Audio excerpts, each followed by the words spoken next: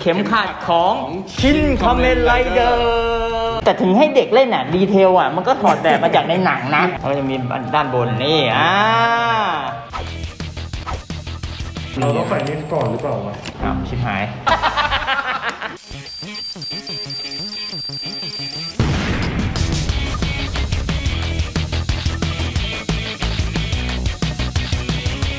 สวัสดีครับพวกเรา Hobby Gang วั นนี้เรามีของ rare ๆช่วงนี้มันอยู่ในกระแส แล้วมันหายาก เข็มขัดของ Shin Kamen Rider V อันนี้ V หนึ่งตัวนี้ออกมาก่อนตัวนี้ออกคือออกใช่ออก V1 มาก่อน แล้วก็ตอนนี้ก็มี V2 ออกมาแล้วก็ต่างกันนิดหน่อย อะ โอเค เรามาดูหน้ากล่องกันก่อนเลยดีกว่า มันจะเป็นรุ่น DX นะ คือ DX เนี่ยมันสำหรับเหมือนประมาณเด็กไซส์เด็กที่แบบวัสดุมันไม่ได้เป็นแบบพรีเมียมมากนะ คือจริงๆ มันจะมีเข็มขัดอีกรุ่นหนึ่งคือ CSM CSM เนี่ยจะคือแบบ1ต่อ1อาจจะมีส่วนของ die-cast บ้าง มีส่วนที่มันเป็นเหล็กเป็นอันลอยหรืออะไรอย่างเงี้ย แต่อันนี้คือเป็นพลาสติก แต่ถึงให้เด็กเล่นอะ detail อะมันก็ถอดแบบมาจากในหนังนะมันก็เหมือนกันอยู่ดีอะเขาทำมาให้เด็กแต่เด็กไม่ค่อยได้ซื้อเล่นหรอกเพราะว่าซื้อแล้วเก็บเองอะไรอย่างเงี้ยใช่ อันนี้เป็นของบันไดที่กสิทธิ์แท้ แล้วก็จะมีภาษาญี่ปุ่นเฮ้ยชูชิโจชิอ่านว่ากัก็นเหรอเงินเลยเด้อไม่รู้ อะ ดูด้านข้างมั่ง เป็นระบบ LED นะ ด้านหลังเขาจะบอกวิธีการเล่น นี่การใส่การสวมใส่อะไรยังไง อ่า นี่ประมาณนี้ก็คือของที่แถมเข้ามาข้างในอะมันก็จะมีแบบเป็นเข็มขัดแล้วก็มีตัวล็อกตรงเนี้ยนะเขาก็จะบอกว่าในกล่องเนี่ยมีอะไรมาให้บ้างรายละเอียดในการใส่ฮะอ่าประกอบนู่นนี่นั่น แล้วด้านข้างก็จะมีอย่างนี้ นี่ผมบอกเลยว่าตั้งแต่ซื้อมาผมยังไม่เคยลองถอดมาประกอบ คือยังไม่เคยเล่นเลยนะ ให้ดูด้านกันข้างอีกด้านหนึ่งก็จะเป็นตัว c a m e r a d e r V1 ด้านล่างก็ไม่มีอะไรก็จะเป็นแบบพวกเหมือนรายละเอียดนิดหน่อย มีสิ่งหนึ่งที่ผมช็อกมากเลย ตอนที่ผมเปิดดูเข็มขัดข้างในอะเขาเขียน made in Thailand ใช่ ตัวนี้ผลิตในไทย ต้องบอกว่าโรงงานบันไดอะมันมีหลายประเทศมาก มันมีทั้งจีนญี่ปุ่นเมืองไทยก็เป็นส่วนหนึ่งอ่าเรามาแกะเลย นี่เปิดมาปุ๊บอะจะเจอมันก็จะมีลังกระดาษลังกระดาษป้องกันการกระแทกเรียบร้อยแล้วก็จะมีด้านบนนี่อ่านี่ชิ้นแรกชิ้นแรกที่เราเปิดเจอมันจะเป็นนี้เลยตัวนี่รองหัวใช่ไหมอ่าตัวใช่ตัวรองหัวมันจะเป็นวัสดุแบบงอได้นะดัดได้ผมว่ามันเป็น PVC ผสม เพราะมันดัดได้ ปกติ PVC มันจะแข็งใช่ไหมอ่าเบลด้านข้างก็จะเป็นประมาณนี้ จะมีให้สองด้านนะซ้ายขวาสองสาย อ่สองอันนี้จะเป็นแบบเหมือนตัวล็อกด้านด้านข้าข้าง ง ตัวล็อกด้านข้างมีสองอัน อันนี้ตัวล็อกด้านหลัง เรามาดูตัวพระเอกกัน ชิ้นนี้คือหัวใจสำคัญเลย แกะจากห่อๆมาให้เพื่อนๆดูเลย นี่ นี่คือหน้าตาของเข็มขัดShin Kamen Rider V1 เท่าที่ดูเนี่ย detail อะมันเป็นพลาสติกนะเขาลงสีมาเป็นแบบสีเงินแบบเออเป็นเหล็กเป็นผมคิดว่าถ้าเป็น CSM อะอาจจะเป็นเหล็กๆหน่อยนะ CSM มันจะเป็นวัสดุมันเป็นพวก die-cast ผสมแหละเออมีรายละเอียดมีเรื่องลงสีลงสีดีนะ ผมว่าแล้วก็ตัวใบพัดอะก็สวยอยู่นะ คือผมมองว่าเป็นงาน DX ที่ดูดีอะงานของ Bandai อะ ต้องบอกว่าบางทีอะเขาผลิตจำนวนเยอะแล้วคุณภาพอะเขาอะไม่ใช่นิ่งมีอันหนึ่งเป็นเข็มขัดของ Rider X อะแล้วสีข้างในอย่างเงี้ยมันแตกนิดนึง เออมันก็มีหลุด QC บ้างทำสีเลอะบ้าง นี่มันเป็นแบบชาร์จถ่านเหรอ หรือว่ามันเป็นไม่ชาร์จครับต้องใส่ถ่าน ไม่ใช่ต้องใส่ฐาน ด้านหลังมันจะมีที่ใส่ฐานให้ตรงนี้นะนี่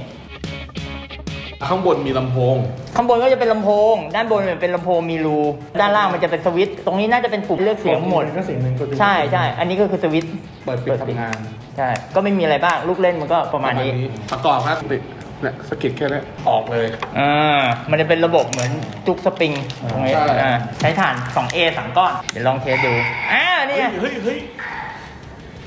เดี๋ยวเราลองกดฟังก์ชันเล่นๆกันดูก่อนก่อนประกอบกดเสียงที่หนึ่งครับสิ่งที่หนึ่งนี่แบงล่างเฮ้ยเดี๋ยวผมทำท่า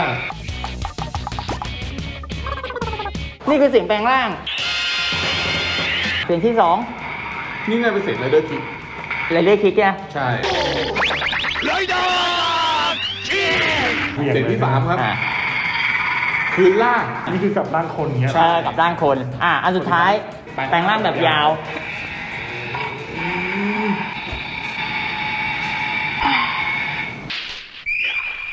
ก็ คือมีสีเสียงสีเสียง มีสีเสียง เดี๋ยวเราลองประกอบดูว่าหน้าตามันจะเป็นไง อ่าด้านบนด้านล่างวะเนี่ย นี่ สิบครับเพราะมันฟอร์อันฟอร์ห้ามเออ นี่ตัวล็อกตัวล็อกตัวล็อกเราต้องใส่นี่ก่อนหรือเปล่าวะเพราะด้านนี้มันติดเนี่ยเห็นไหมอ้าวชิบหาย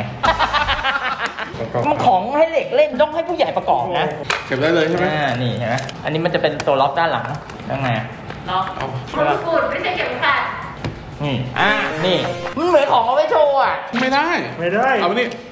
ยังไม่ยังไม่คนดีมานี่ดิแข่งมวยปั้มมาก่อนหรือเปล่าแข่งขัดนี้แข่งขัดนี้ใส่ไม่ไม่ได้ได้ไม่ถึงครึ่งเอตัวอโอ้โห ไม่ได้ ตั้งโชว์หรือว่าให้เด็กเล่น อยากจะใส่จริง ๆ ก็ ไปหาแดปเอาต่ออะไร DIY กันอะหน้าตาเขาอยู่ดิหน้าตามันเป็นไงเอ้ยมันก็ส วยนะอืมมันสวย แต่แม่งใส่ไม่ได้ไอ้เหี้ย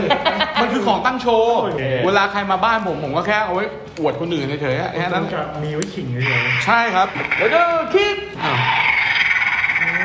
เอาจริงๆ มองไกลๆอะมันก็เหมือนในของในหนังเลย ดูดิ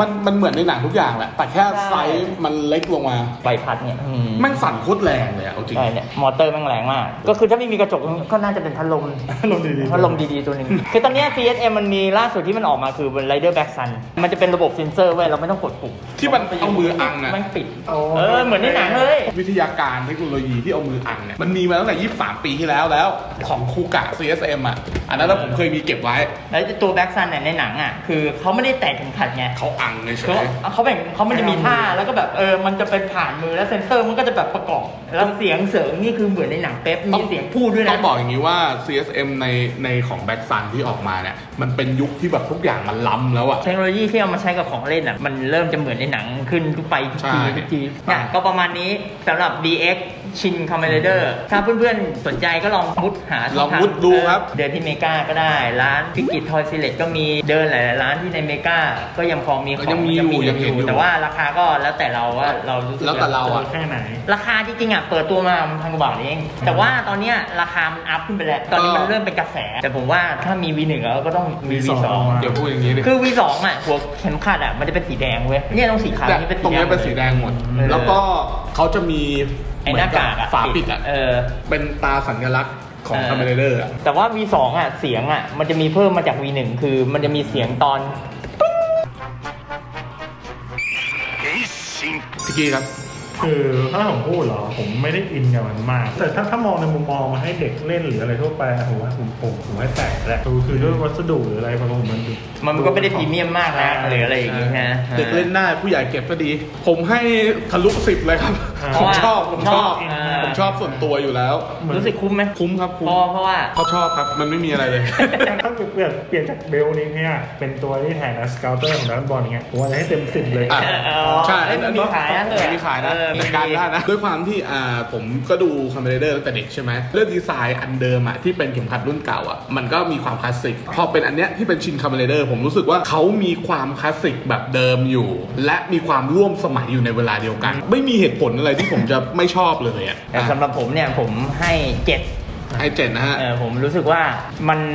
มันใส่ไม่ได้ อย่างน้อยๆอะทำมาทั้งทีอะน่าจะมีสายให้มันสายแบให้บเด็กเอาเอมาใส่อให้ยาวกว่านี้หน่อยนึงสายแบบเหมือนให้เลือกเปลี่ยนได้หรือว่าแบบเออสมมติตั้งโชว์ก็อาจจะสั้นแค่นี้ก็พอเออแต่ว่าถ้าจะเอาไปใส่เล่นก็เป็นสายเพิ่มโอเค ฟังก์ชันเนี่ยผมรู้สึกว่ามันควรแถมเสียงมาให้นิดนึงเสียงนักแสดงหรือว่าเสียงผู้ตอนแปลงร่างหรืออะไรอย่างเงี้ยไปพัดหมุนเสร็จปุ๊บ เออชิ้นเลยขึ้นขึ้นมา เออมันจะดูแบบเอยเออมันจะมี sound effect ให้เลือกหรืออะไรอย่างเงี้ยอย่างน้อยอย่างน้อยเด็กเอาไปเล่นแบบอาจจะอาจจะไม่ได้พูดเองในวิสัยจากเข็มขัดบอลใช่ใช่แต่เรื่องวัสดุกับราคาเนี่ยผมว่ามันก็โอเคเพราะว่ามันสมเหตุสมผลเออใช่ มันเป็น DX ก็จริงนะ แต่ว่ามันก็ดูสวยอีกนิดนึงอะมันก็จะครบแล้วอะใครชอบหรือไม่ชอบอะไรก็คอมเมนต์มาบอกครับมาคุยกันคิดว่าความเห็นของทุกคนสำคัญนะเราอยากอ่านเหมือนเราได้คุยกันนะและเปลี่ยนความคิดเห็นเออว่าเอ้ยไอเนี่ยแบบอย่างนี้ก็คุ้มแล้วหรือว่าเพราะ DX มันทำให้เป็นอย่างนี้ หรืออะไรอย่างนี้อ่ามัมันมีอาจจะมีเหตุผล เดี๋ยวเรารอดูว่า CSM เขาจะทำออกมาออกมาหรืปล่าเป็นยังไงใช่จะออกไหมหรือจะออกมาเป็นยังไงลักษณะไหนใช่เดี๋ยวถ้าตอน CSM ออกแล้ว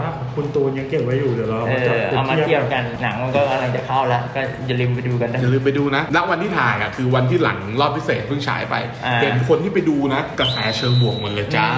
เดี๋ยวเราลองไปดูว่ามันจะสนุกหรือเปล่าเพราะอย่างตอน Shin Ultraman ผมว่ามันก็ดีแต่ว่าติดเรื่องอย่างที่เคยเล่าให้ฟังเรื่องเฟกต์ตอนใช่ไหมเรื่องที่ปีอาจจะเป็นที่งบในการสร้างคนทำหนังประเภทอย่างเงี้ยมันก็อาจจะได้ทุนไม่ได้เยอะไม่ได้มากเยอะเท่าไหร่ทีเนี้ยมันอยู่ที่พวกเราแฟนๆน่ะจะสนับสนับสนุนขนาดไหน เพื่อที่เขาจะมีแบบเหมือนทุนไปต่อยอดทำเรื่องอื่นได้อีก Kamen Rider มีช่วงหนึ่งที่มันเหมือนแบบเคยมีกระแสเหมือนว่าจะจะจบไปแล้วจะแบบเออมันมีช่วงที่แต่มันมีแต่ร่วงมีอดียู่ director คนหนึ่งที่เขามามาปรับ ปรับลายเปลี่ยนเปลี่ยนเออเป็นเออยุคพอเปลี่ยนยุคปุ๊บกระแสมันเลยกลับอ่ามามันตีกลับมาใช่ใช่ ก็เลยมีทุนในการสร้างต่อไปใช่ต่อไปมันเลยมีทุนแต่ผมว่าหนัง live action ที่เกี่ยวกับอนิเมะการ์ตูนหรืออะไรพวกเนี้ยมันก็เสี่ยงกันนะ เพราะอย่างล่าสุด Saint Seiya นี่ก็อ่าเละเป็นขี้หมาเหมือนกันนะเอาติดตามพวกเราครับ Hobby Gang นะครับ Facebook IG TikTok นะ YouTube ดูอยู่ใครผ่านมาหรือดูแล้วยังไม่เคย sub ก็ sub ไปเลย กดครั้งเดียวนะอย่าสองครั้งอะกดสองครั้งไม่ได้นะครับ sub เยอะๆ sub ไม่ได้อะนะมันไม่เหมือนปั่นวิวนะครับส่วนใครอยากจะ support เราเยอะๆก็อุดหนุนทวิตเตอร์กับ OnlyFans ของพี่กี้ครับ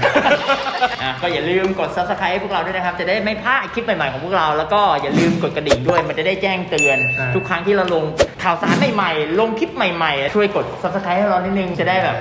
มีกำลังใจในการทำคลิปใหม่ๆ ต่อไป โอเคครับ ยังไงก็เดี๋ยวเจอกันครับ แล้วก็อย่าลืมว่าไม่ว่าคุณจะอยู่ที่ไหน ไม่ว่าคุณจะเป็นใครคุณจะแก๊งเดียวกับเราเพราะพวกเราคือ Hobby Gang เจอกัน กดเสียงหน่อย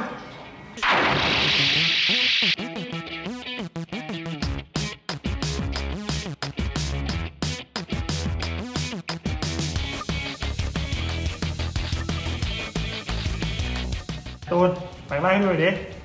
ได้เลยอ้าว ไม่ใส่เข็มขัดอะมันใส่ไม่ได้ เอ็มจิ